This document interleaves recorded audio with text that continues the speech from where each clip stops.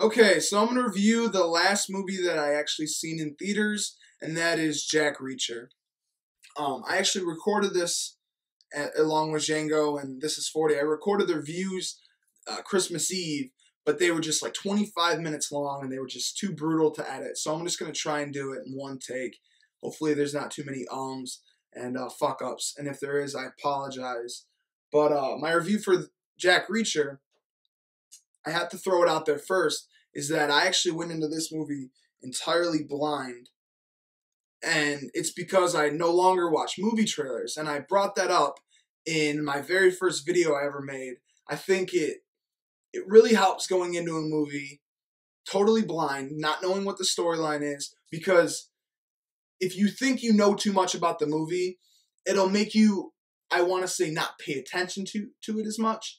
And when you go into something totally blind, you are forced to pay attention to it because you have no clue what it's about. You may know the actors or the story, like a brief synopsis of the movie, but you don't know how it's going to be depicted. And uh, that's how it was with Jack Reacher. I went in never seeing anything. I know people were giving the movie a lot of shit because Tom Cruise, the, the character Jack Reacher, is played by Tom Cruise, and apparently he's supposed to be like six foot six and 240 pounds, and Tom Cruise is five nine, like 210. You know, he's just a small built dude. And uh, that doesn't faze me because I think Tom Cruise plays a charismatic uh, action hero very well. So, you know, that does that doesn't I don't like Tom Cruise. I think the shit on TV and everything is really annoying, but I don't mind the guy in action movies. In fact, I actually love Mission Impossible 4. It was one of my favorite movies of last year. And uh, it really was his career rejuvenations. And that continues with that uh, with Jack Reacher.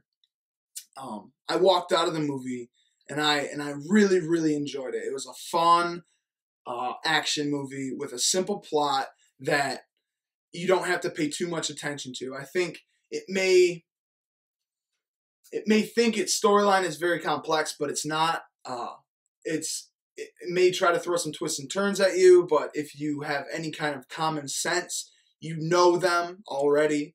Uh, except for the woman behind me in the theaters, who at one point shed said, "Oh shit, it's the bad guy," you know. So it's just like I'm not spoiling it or nothing, but uh, I if I don't know, maybe you'll find a twist in the movie, but I didn't. I seen it coming at the from the first two minutes of the movie, and uh, but Jack Reacher.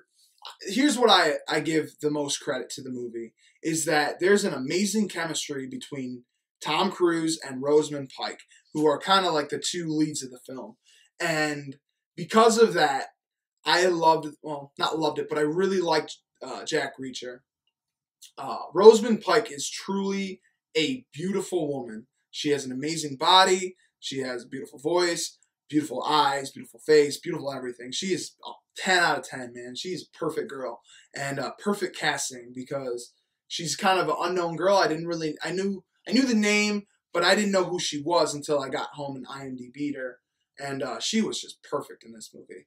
Um, you know, obviously her acting is it's nothing to brag about, but I think she did a great job in this movie, and she had great chemistry with uh with Tom Cruise, and that's the thing that makes me like the movie the most, and that's what makes me want another sequel, is because the great chemistry, and they're going to be working together in the next movie too. So I have to throw that out there. And uh, the storyline, like I said, is not too complex. It's just a it's a simple storyline with, but it's cool. It reminds me a lot of uh, Shooter with Mark Wahlberg. It's very similar storyline.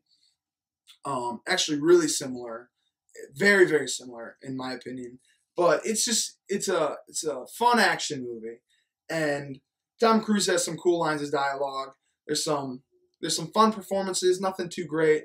Uh, Werner Herzog is in the film, who's a, an acclaimed director, uh, especially he directs documentaries and is very acclaimed for it.